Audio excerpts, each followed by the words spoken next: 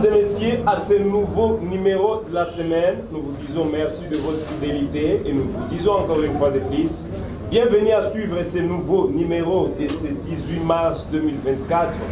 Lundi depuis la ville de Goma, Monsieur Georges Yala Lambiro, notre invité du jour. Nous disons merci Monsieur Georges d'avoir accepté notre invitation. Bonjour et bienvenue encore sur Congo Live TV.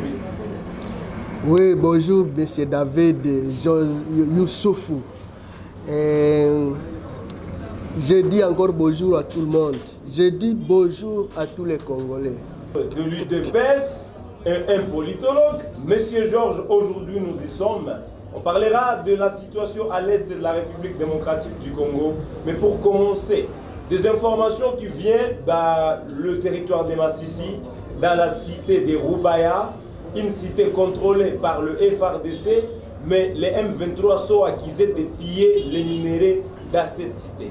Aujourd'hui, est-ce qu'il faut dire, bien que le FRDC occupe certains endroits, mais il n'arrive toujours pas à assurer la sécurité de ces entités. Comment ça se fait? Et tout d'abord, M. David, avec tous les Congolais qui, me suivent à, à l'heure où nous sommes, je déplore cette situation.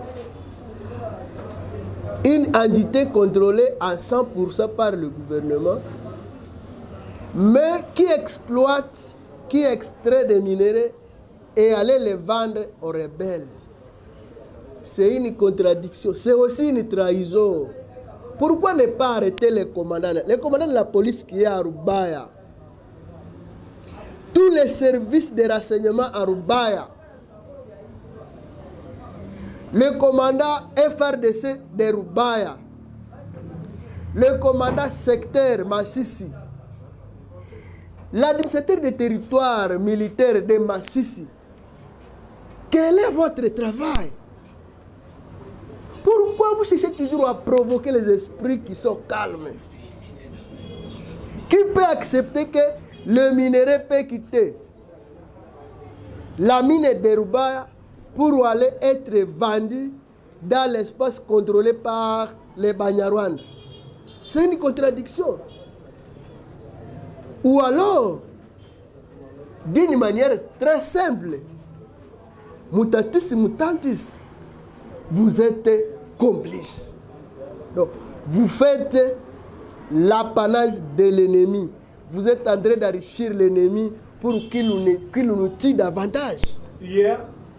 De Wazalendo, deuxième résistant Wazalendo, ont intercepté certains lots de minéraux. Cela a été entendu. Ce qui était Cela a été vécu. Les minéraux qui quittent Rubaya a été intercepté par nos frères Wazalendo au niveau de Biham. Comment cela C'est-à-dire, ni était l'arrivée de Wazalendo au niveau de Biham, le minerai serait déjà, entre les mains de M23. C'est comme c'est devenu une habitude. Maintenant, vous, moi je dis, j'insiste, j'insiste. Commandant de je sais très bien, moi j'ai déjà été à Roubaix plusieurs fois. C'est une grande cité qui doit être toujours contrôlée soit par un commandant police, mais aussi par tous les services. Tous les services disent, chef de poste de renseignement, ANER, kazi si pas cité si pas commandant si pas localité là-bas. Commandant FRDC vous qui régnez là-bas quel est votre travail? Mais je vais aussi surtout m'intéresser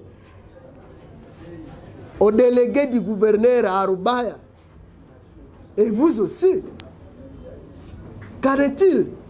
Mais je vais plus plus épingler les services de mines. Parce qu'il y a la polymine, la police des mines, elle est là.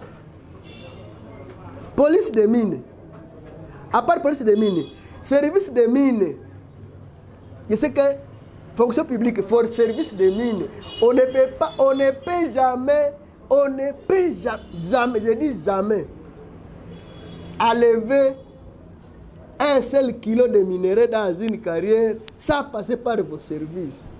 Et pourquoi vous ne voulez pas aider la République à recouvrer son intégrité territoriale? Vous qui êtes là, ou alors vous êtes complice. Monsieur Georges, Donc, donc d'une manière simple et logique, tous ces services-là sont arrêtés et à déférer devant la justice.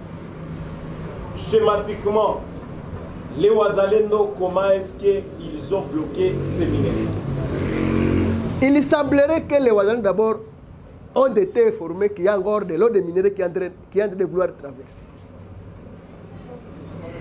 Et hier, vous savez, ils étaient en opération avec, contre les M23, vous le savez. Le samedi et hier dimanche, il y avait des affrontements vraiment très houleux entre les FRDC et les M23.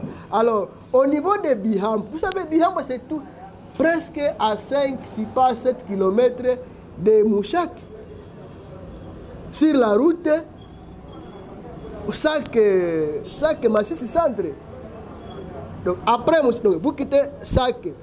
Vous montez vers Toboka vous, arrivez à Mouchaki après Mouchaki vous allez tout petit peu vous arrivez à Bihambu et maintenant moi je me dis mon Dieu pourquoi les Congolais mettent toujours le mal? Et surtout vous les affaires de Massis, mon Dieu, c'est comme si vous êtes ensorcelé. Donc, donc pour vous, vous ne pouvez pas survivre si le M23 n'est pas à côté de vous. Vous êtes difficilement survivable si Mwanga Chuchu n'est pas avec vous. Parce que qui dit M23 dit Mwanga Chuchu. Et voilà maintenant les, minéraux, quand on l'intercepte, automatiquement vous, vous étiez en train de faire quoi? De les déférer vers les frères de Mwanga Chuchu qui sont les M23 assiégés à Rubaya. Donc, j'ai dit, j'insiste, tous les services qui vont me suivre dans ce numéro, tous les services, j'ai dit, tous les services, à commencer par Kinshasa, si vous allez me suivre, essayez de, marteler sur cette histoire. Parce que c'est inconcevable. À Rubaya, il y a le, le représentant du- gouverneur. Quel est ce service? Il y a le service de l'ANER, donc ils ont service de, renseignement. Le service est là. Il y a les FRDC, ils sont là. Il y a les Wazalendo. Les Wazalendo qu'on appelle Nyatura, ils sont là. Et pourquoi ils ne peuvent pas contrôler ces minéraux et les, les- les- les orienter vers les services habilités Et vous, service des mines, là je m'adresse tout droit à la chef de division des mines. C'est une maman, je la connais très bien. Votre travail aussi, c'est est-ce que vous avez une main mise sur cette carrière de Rubaya? Ou alors vous êtes complice aussi?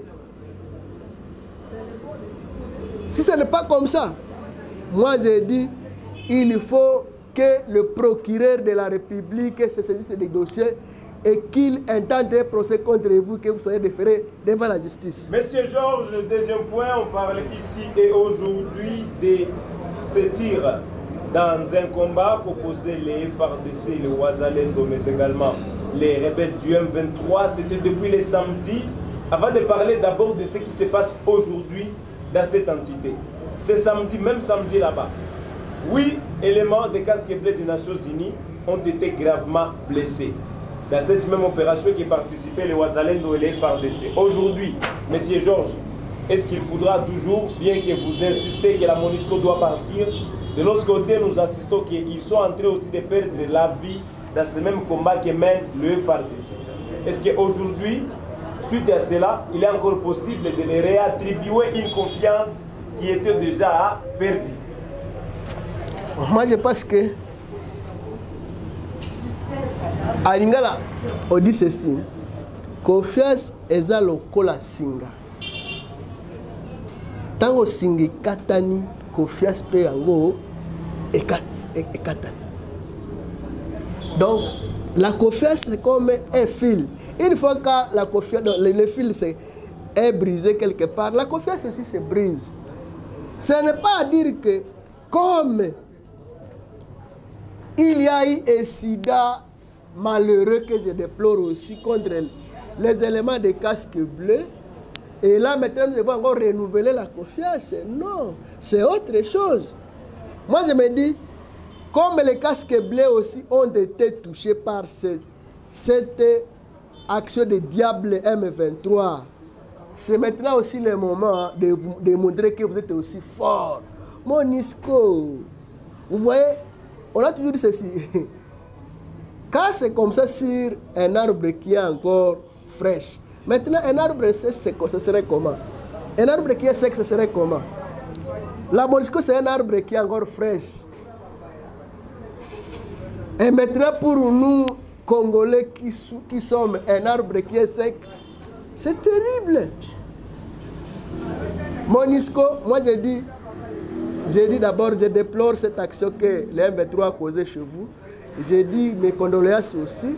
Et je, je, je, je, je trouve que les M23 sont des sauvages qui ne voient même pas, qui ne voient personne. Même chez vous, vous êtes aussi victime de cette barbarie de- Kagame. Alors, il, vous a aussi demandé de faire une riposte, une revanche. Les gens qui ont succombé, les gens qui, sont blessés, grièvement blessés, bien, bien, sûr. Mais ce, sont des affaires aussi, ce sont des gens qui doivent aussi, qui sont quand même des hommes. Ils tuent aussi la société de là où ils sont venus. Ils doivent aussi, ils doivent, ils doivent faire une revanche. Nous appelons cela, nous on peut l'appeler encore peut-être euh, une revanche, comme je peux, je peux le dire. Mais c'est une action que vous ne devez pas laisser inaperçue. C'est une action grave. Monisco, montrez aussi que vous êtes aussi pour la population congolaise et contre toute personne qui peut déranger la population. Et surtout que vous, êtes- vous avez été aussi dérangé. C'est terrible. C'est terrible. C'est grave, c'est gravissime. Nouveau affrontement. Je dois le dire à la Monisco de Mubambiro, allez monter aussi sur les montagnes, aller vers Mouchake, aller riposter. Mais de l'autre côté, dans, dans les ruines, on a vu comment est-ce que les rebelles du M23 entraient la MONUSCO observée. Aujourd'hui, elle-même victime de ça. Qu'est-ce qu'il faut comprendre dans tout ça? Moi, je dis Ici, elle ne fait rien. Ici, sont, ils sont victimes de leur propre hypocrisie. Maintenant, qu'ils dévoilent ce qu'ils sont. Imaginez à, à, à Rwindi, vous, les avez, vous avez vu les éléments du M23 entrer, franchir sous la barbe, sous la barbe tranquille de la Monisco. Mais voilà, Monisco, à cause de votre hypocrisie, peut-être votre bienveillance, mais vous êtes victime de votre propre hypocrisie. Voilà maintenant qu'on vous attaque à côté. C'est comme si le bien que vous avez fait au au M23 à Rwindi, vous le payez maintenant par des bombes à Mobambiro. Vous devez aussi montrer de quoi vous êtes capable. Pas seulement chaque fois être naïf. Et voilà, vous, vous- avez été aussi. Moi, je dis, vous ne devez que subir ça, mais c'est malheureux. Montrez-vous que vous êtes aussi capable de faire quelque chose de riposte. Soyez comme, soyez comme la SADEC, qui lui ne transverse pas. Une fois elle a été victime, elle a riposté. La SADC qui n'arrive toujours pas à travailler jusqu'à présent. Non, elle a en train de faire sa mise à place. Jusqu'à quand, monsieur Non, elle a en train de faire sa mise à place. D'ici peu, on aura deux mois et demi. En fait, la mise à place de l'armée n'est pas moindre. Et surtout une force, une force que nous appelons une force d'appui, une force qui vient, qui vient appuyer une armée déjà bien établie. Il y a plusieurs préalables, il y a plusieurs méandres d'abord à franchir avant de lancer les opérations. Et vous savez, la RDC, ce n'est pas n'importe quel pays, vous le savez. C'est un pays qui bouleverse tout le monde entier. C'est un pays, je dirais un pays vedette, un pays star, une star mondiale. C'est la RDC. Donc, sur SADC, il faut toujours croire c'est pourquoi il y a plusieurs étapes à franchir avant de lancer les bonnes opérations.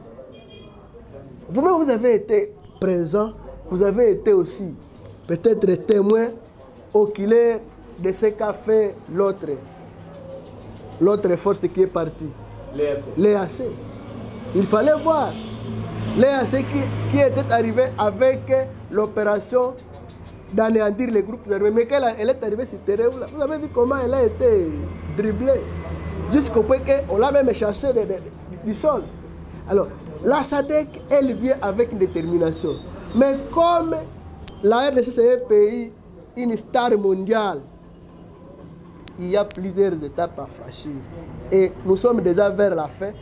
Bientôt, les opérations seront lancées par la SADC, conjointement avec les FARDC, et le M23 va subir. Nouveau affrontement. Il faut parler alors d'aujourd'hui, signalé depuis 4 heures du matin, c'est lundi 18 mars 2024, dans les territoires de Massissi, sur la colline de Loubmba et les collines qui surplombent la cité de Sake. Selon nos sources, ce combat oppose les jeunes résistants Wazalendo aux rebelles du M23. La colline de Ndumba est stratégique pour contrôler le village de Chacha sur la route Goma-Minova. Les jeunes résistants Wazalendo qui continuent toujours à, être de, de- de- à mettre un mire, un solide alors il faut le dire, pour les rebelles du M23. Mais pourquoi ces derniers persistent et veulent toujours prendre la cité de Sake, bien qu'ils n'arrivent pas, mais ils persistent toujours. En fait, je- comme, je, village, comme, qu'est-ce- je, c'est- comme, c'est- je venais, comme je de le dire, la RDC c'est un pays, pas n'importe lequel dans ce monde. Et quand vous voyez M23, ne voyez pas seulement Makenga, ne voyez pas Willy Ngoma. Voyez la France, sur, plus particulièrement la France et l'Angleterre. Voyez Kagame et Museveni. Quelquefois aussi William Ruto du Kenya, du Kenya. dans cette affaire, Il est là. C'est lui qui abrite Nanga, non? C'est lui, qui, abri- c'est lui, lui qui, qui protège Nanga, qui conserve Nanga. Il s'appelle William Ruto. Et voilà, Nanga, Willy Ngoma, Makenga. Bissimwa et Koso ne sont que des marionnettes de ces puissances-là. Et alors, quand ils sont à Sac, ils ont l'objectif peut-être d'atteindre Sac, et si pas Sac, ils vont peut-être asphyxier la ville de Goma et puis chercher à contraindre Tshisekedi à un dialogue. Chose qu'ils ne réussiront jamais. Avec la détermination de la population congolaise, et surtout nos wazalendo, watoto wa ils ont juré. Et d'ailleurs, peut-être pour encore affausser davantage, avec la réhabilitation de, la, peine de mort, les gens qui servaient de béquilles, les gens qui servaient de, marionnettes, les gens qui servaient de, de trajectoires pour le M23, pour que le M23 fasse un travail facile. Ils sont déjà dans, le de la loi. Effectivement, ça devient déjà aussi émir davantage. Et vous, vous allez même le sentir. Même parmi les brebis galaises, les brebis galaises dans les FRDC, qui se prétendaient peut-être servir le 1-23 pour un passage quelconque. Ils sont déjà contraints de ne plus traiter de cette manière-là. C'est parmi aussi les grandes actions qui amènent à ce que le 1-23 trouve des difficultés gens. Et je vous dis, je vous le jure, bientôt là, c'est Mouchaki, c'est Kilolirwe, c'est Kichanga qui sera repris, qui seront repris entre les FADC, surtout les Wazalendo qui Vous savez, moi j'ai toujours aimé les Wazalendo, les vrais Wazalendo alors, les Wazalendo Halissi, ils ne prennent pas l'argent. Et d'ailleurs même à plein, à affrontement, ils ne peuvent, ils ne peuvent jamais, je répète, ils ne peuvent jamais toucher même, pas même, même Kassa Yambongo, si, s'il touche ça, c'est lui qui touche. Un Kassa Yambongo à plein affrontement. Il succombe sur le front. Mais les faux Wazalendo servent le M23. De Boutembo, vous savez très bien que vous parlotez beaucoup. Vous- on, on- on- on est en train de vous suivre sur les réseaux sociaux. Il y a eu crash même à Non, non. Butembo À hier. Bout- voilà, à Boutembo, les gens, les gens qui, ont, qui ont été sauvés de justesse dans les crashs d'avion, de la casse, Monsieur Setraka Aviation Service, nous vous disons Paul, votre appareil a, été endommagé. Paul, les amis de Boutembo, Paul. Mais les amis de Boutembo qui sont, qui sont en train de vouloir croire que les FRDC, c'est devenu une. Vous commencez à leur, parler de Baza Sombe. Ils ne sont pas sombres. Ils sont encore là. Ils vont vous démontrer. Les amis de Ben, c'est très bien que vous êtes en train de vivre au moins aujourd'hui, au moins quelque chose de bien. Je dis d'abord Paul à ceux-là qui ont été visités par les ADF vers Sayo, entre Manguina et Sayo là-bas, ville de Beni, commune Moulekera. Vraiment, Paul, nous avons appris que vous avez été visité par les ADF. Il y a eu mort et on a apporté beaucoup d'autres. Un policier a succombé. Nous vous disons vraiment, Paul, Paul et Sang. Votre numéro, Monsieur Georges? Je termine pour dire ceci au, au chef de l'État, Monsieur le, le président de la. République. Je vous dis bon travail, bonne carrière et surtout, moi, je vous encourage à tenir fort. Ne lâchez jamais un seul jour. Allez négocier avec Kagame avant que le L23 ne se retire. Sinon, c'est pour vous suicider de vous-même. C'est un suicide. Et mon numéro, c'est plus 243 9 79 27 31 68. Merci, Monsieur Georges. Merci à tous les téléspectateurs de Congo Live Télévision. Nous vous disons merci de votre fidélité. C'est la fin de cette émission. Je suis Youssouf Kibingila. Monsieur Georges, notre invité du jour.